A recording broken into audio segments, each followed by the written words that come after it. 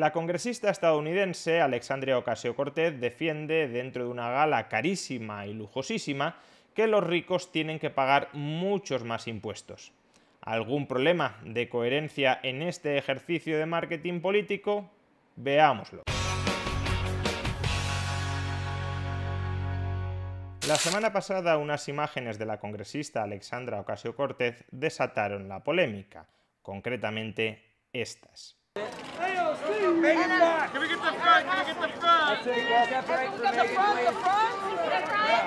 Alexandria Ocasio-Cortez apareció en la carísima y lujosísima gala del Met con un vestido que contenía ese mensaje, Tax the Rich, súbele los impuestos a los ricos. Son muchos los que consideran que la presencia de Ocasio Cortez en esta carísima gala portando un vestido con ese mensaje resulta un ejercicio de hipocresía, y más en particular un ejercicio de hipocresía en tres frentes. En primer lugar, el ticket para asistir a esta gala, a la gala del Met, cuesta 35.000 dólares, un precio que no está al alcance de la inmensa mayoría de bolsillos estadounidenses. Por tanto, si Ocasio Cortez hizo frente a ese gasto para asistir a esta gala, desde luego podríamos encuadrar a Ocasio Cortez entre los ricos de Estados Unidos a los que está diciendo que hay que cobrarles más impuestos sin incluirse aparentemente a ella misma entre ese grupo de ricos a los que hay que cobrarles más impuestos. Sin embargo, es verdad que esta crítica no es una crítica demasiado ajustada a la realidad, porque, como la propia Ocasio Cortez tuvo ocasión de matizar a continuación, a los cargos públicos de Nueva York se nos invita regularmente a asistir al MED debido a nuestras responsabilidades de supervisar y de apoyar a las instituciones culturales de la ciudad. Yo fui una de las muchas que asistió esa tarde. Es decir, que Alexandria Ocasio Cortez no pagó su ticket de 35.000 dólares para asistir a esta gala en el Met. Fue invitada por el propio museo de manera gratuita. Por consiguiente, no es que ella tuviera suficiente dinero como para despilfarrarlo en un ticket de estas características, sino que asistió gratis. Lo cual, de todas formas, no deja de ser problemático. Si Alexandria Ocasio Cortez considera que los ricos son unos privilegiados porque se pueden permitir un tren de vida que, entre otras cosas, les da acceso a este tipo de galas, ¿acaso los políticos que también acceden a este tipo de galas por ser políticos no son también unos privilegiados? Imaginemos una sociedad donde un selecto grupo de individuos disfrutara del mismo tren de vida del que hoy disfrutan muchos ricos, aun cuando ese selecto grupo de individuos no tuviera ningún patrimonio. Estaría disfrutando de ese alto tren de vida porque entre todos se lo estamos costeando. ¿Y por qué se lo costeamos entre todos? Pues en el caso de Ocasio Cortez, porque es una representante del pueblo, y siendo representante del pueblo, parece que se ubica por encima del pueblo llano, por ejemplo, adquiriendo el derecho a acceder gratuitamente a este tipo de eventos de lujo. Si el alto tren de vida de aquellos ricos que han generado mucho valor para el resto de la sociedad, es decir, que han satisfecho muchas necesidades del resto de la sociedad hasta el punto de que el resto de la sociedad voluntariamente les ha pagado por los bienes o servicios que les proporcionaban, si el alto tren de vida de estas personas que son ricas comerciando nos parece escandaloso, que nos debería parecer el alto tren de vida de políticos que lo mantienen gracias a que están rapiñando al conjunto de la población. Si el alto tren de vida de esas personas que son ricas comerciando nos parece escandaloso, que nos debería parecer el alto tren de vida de unas personas que disfrutan de ese alto tren de vida o bien por privilegio legal o bien rapiñando al conjunto de la sociedad. Pero parece que esos privilegios de los que disfruta Ocasio Cortez, esos privilegios políticos de vivir de manera distinta al pueblo llano al que supuestamente está representando, esos privilegios a Ocasio Cortez no le preocupan porque son privilegios de corte político, son privilegios que están asociados con el estatus estatal.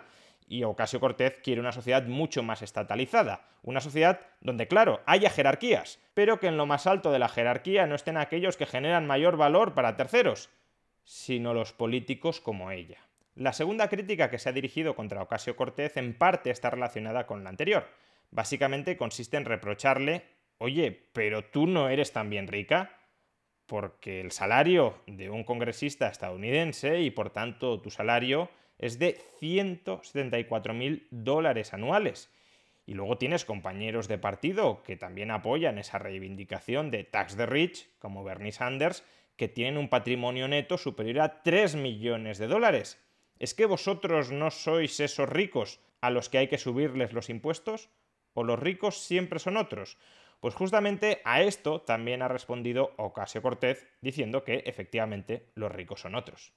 I mean, this is the trick that people use all the time, right?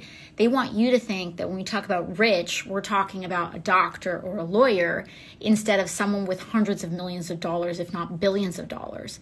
That's what we mean by rich. Aquí tiene algo de razón Ocasio Cortez. Es verdad que en Estados Unidos, con su salario de 174.000 dólares anuales, no se la podría incluir entre el top 1% de mayores perceptores de renta, de ingresos en Estados Unidos. Para pertenecer al top 1%, los ingresos por hogar es verdad que aquí estamos considerando solo los ingresos de un individuo, pero aún así los ingresos por hogar han de superar los 450.000 dólares anuales. El 1% de familias estadounidenses con más ingresos ingresan más de 450.000 dólares anuales.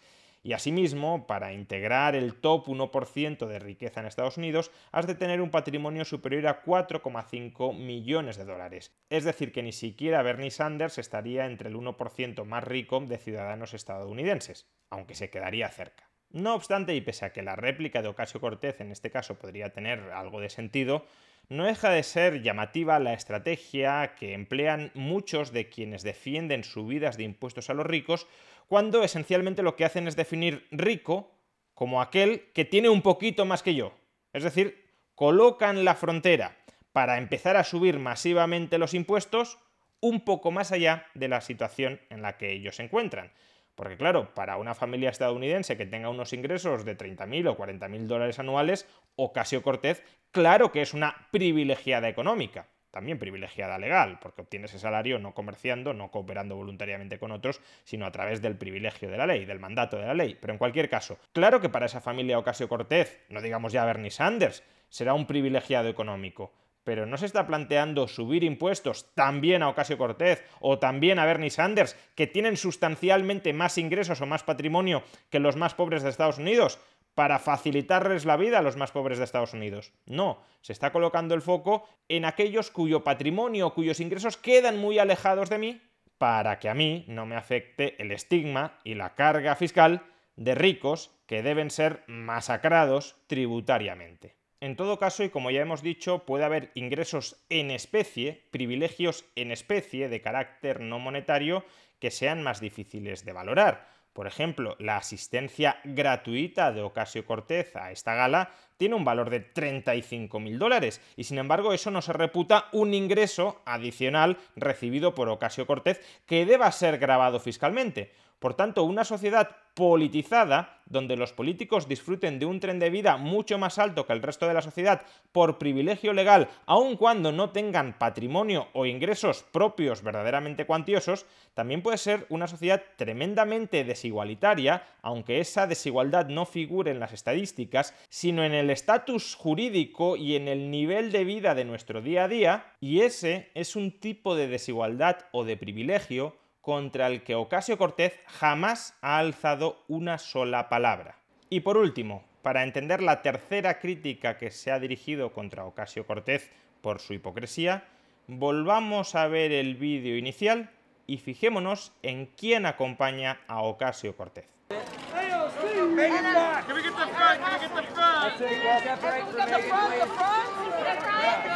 Quien aparece en estas imágenes junto a Ocasio Cortez es la diseñadora del vestido que lleva Ocasio Cortez, Aurora James. Su presencia en la gala junto a Ocasio Cortez no fue casual en absoluto. De hecho, la propia Ocasio Cortez resaltó en Twitter que estaba siendo acompañada por Aurora James. Orgullosa de trabajar junto con Aurora James, una mujer inmigrante negra focalizada en la sostenibilidad y que se ha convertido en diseñadora empezando desde un mercadillo de Brooklyn hasta llegar a ganar el premio de la CFA contra todas las probabilidades. Y ahora trabajando juntas para abrirnos las puertas del Met. ¿Y cuál es el problema con Aurora James? Pues que Aurora James es una evasora fiscal.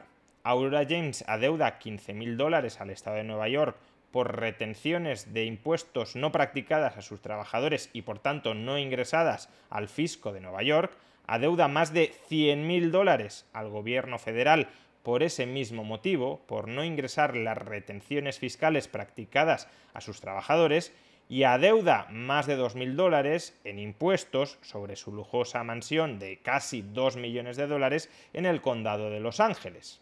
Que a ver, no voy a ser yo quien considere una virtud cívica el pago de impuestos, pero si acudes a una gala diseñando un vestido que dice que todo el mundo tiene que contribuir pagando su porción justa de los gastos comunes del Estado, y que por tanto los ricos, como tienen mucho, tienen que pagar mucho más, digamos que hay un pequeño problema de hipocresía si tú no estás cumpliendo con el mensaje que estás lanzando, si tú no estás pagando impuestos.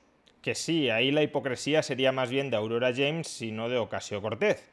Pero cuando eres Ocasio Cortez y aceptas que tu vestido sea diseñado por Aurora James, que es una evasora fiscal, y quieres que ese vestido contenga un mensaje favorable a que los ricos paguen más impuestos, pues eso tampoco es demasiado coherente. Juntarte con una evasora fiscal para defender entre las dos que los ricos paguen más impuestos, de nuevo, algún tipo de hipocresía sí conlleva.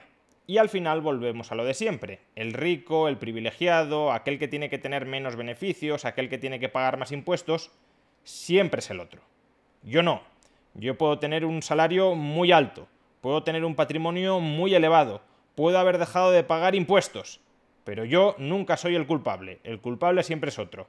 El que tiene que tener menos ingresos, el que tiene que tener menos patrimonio y el que tiene que pagar más impuestos es el otro. De esa manera yo no renuncio a lo mío, pero sí puedo señalizar virtud ante los demás. Porque claro, decir que quiero que los ricos paguen más impuestos para que los pobres vivan mejor me convierte automáticamente en muy buena persona aunque no sea yo la que esté donando toda esa cantidad de dinero para que los pobres vivan mejor. Yo solo estoy pidiendo que los ricos paguen más. Pero pedir que los ricos paguen más impuestos para que los pobres vivan mejor y tejer todos mis privilegios monetarios y no monetarios sobre la base de ese mensaje, de ese mensaje que señaliza virtud, pues me convierte en alguien con mucha empatía y sensibilidad social.